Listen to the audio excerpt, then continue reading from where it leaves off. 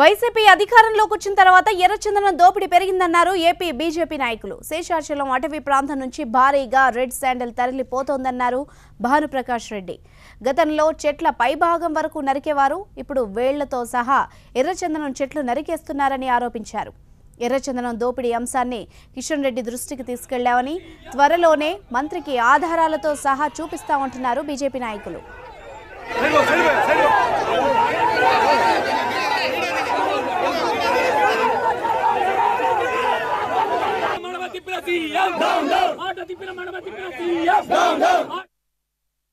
ఈ ఆరు నెలల కాలంలో వైసీపీ ప్రభుత్వం వచ్చిన తర్వాత కూడా ఇది ఏదైనా అరికడతారేమో ఆ, శ- శేషచల అడవుల్లో ఉన్నటువంటి ఎర్రచంద్రాన్ని కాపాడతారనే ఒక భావన ఉంది.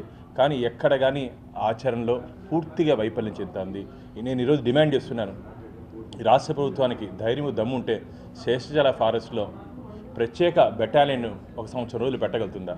మాకైతే నమ్మకం విశ్వాసం లేదు. ఈ- దీన్ని నేను కేంద్ర ప్రభుత్వం దృష్టికి తీసుకునేలాను మొన్న కేంద్ర హోంశాఖ సహాయ మంత్రి కిషన్ రెడ్డి గారు వచ్చినప్పుడు కూడా నేను ఈ విషయాన్ని చెప్పాను. గతంలో రాజ్నాథ్ సింగ్ గారు హోంశాఖ మంత్రిగా ఉన్నప్పుడు కూడా వారికి నేను తిరుమలలో దీని మీద ఒక ప్రజెంటేషన్ ఇచ్చాను. తొందరలోనే కిషన్ రెడ్డి ఈ శేషశాల అడవుల గతంలో ఏ విధంగా పర్యటన తీసుకొని వచ్చో ఆ విధంగా పర్యటించి రాబో రోజుల్లో ఏ విధంగా చర్యలు తీసుకుంటే ఈ శేషాచల అడవులు కాపాడబడతాయో ఆ విధంగా భారతీయ జనతా పార్టీ ఖచ్చితంగా రాబో రోజుల్లో చర్యలు తీసుకుంటుంది. ఇంత గతంలో ఈ ఈ వేర్లు పై భాగం వరకు నరికేవాళ్ళు ఎర్రచందన స్మగ్లర్లు. ఇప్పుడు నేను ఈ మధ్య అధికారులను కనుక్కుంటే పూర్తిగా వేర్లతో పాటు కూడా దాన్ని తీసేస్తున్నారన్నారు. అట్లీస్ట్ వేర్లన్నా ఉంటే ఒక పది సంవత్సరాలకు ఇరవై సంవత్సరాలకు తిరిగి అది మర ఎర్రచందనం చెట్టుగా మలిచే అవకాశం ఉంది. కానీ ఆ పరిస్థితి కూడా లేకుండా ఈరోజు స్మగ్లర్లు బరి వీరు వీరి వెనకాల వ్యక్తుల్ని శక్తుల్ని బయటపెట్టాల్సిన బాధ్యత బాధ్యత రాష్ట్ర ప్రభుత్వం మీద ఉంది. కానీ దాంట్లో తమ సొంత మనుషులు తమ సొంత అనుచరులు కొందరు అధికారులు హస్తం ఉంది కాబట్టి ఈ విషయం బయట ఎక్కడ పొక్కట్లేదు. దీని మీద కేంద్ర ప్రభుత్వం మేము చాలా సీరియస్గా ఉన్నాం. భారతీయ జనతా పార్టీ రాబో రోజుల్లో శేషాచల అటవీ పరిరక్షణ కోసం ఉద్యమానికి శ్రీకారం చుడతామని చెప్పి ఈ రాష్ట్ర ప్రభుత్వం తీవ్రంగా హెచ్చరించింది అటు శ్రీకాళహస్తి ఎమ్మెల్యే బియ్యపు మధుసూదన్ రెడ్డిపైన సంచలన ఆరోపణలు చేశారు బీజేపీ నేతలు.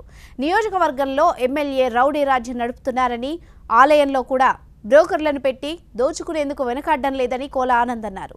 ఆలయంలో అక్రమాలపై ప్రశ్నిస్తే తమపై అక్రమ కేసులు బనాయిస్తున్నారని ఆరోపించారు.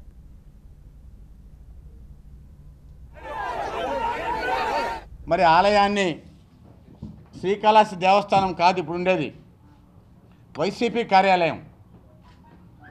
వైసీపీ కార్యాలయం అయిపోయింది శ్రీకాళహస్తి దేవస్థానం కూడా ఒక్కసారి దర్శనానికి లోపలికి వెళ్తే ఈరోజు ఉదయం కూడా పోయొచ్చాను ఏ గేటు కాడ చూసినా ఏ రాహుకేతు మండపాల్లో చూసినా వైసీపీ కార్యకర్తలు తప్ప భక్తులు తగ్గారు కార్యకర్తలు ఎక్కువైనారు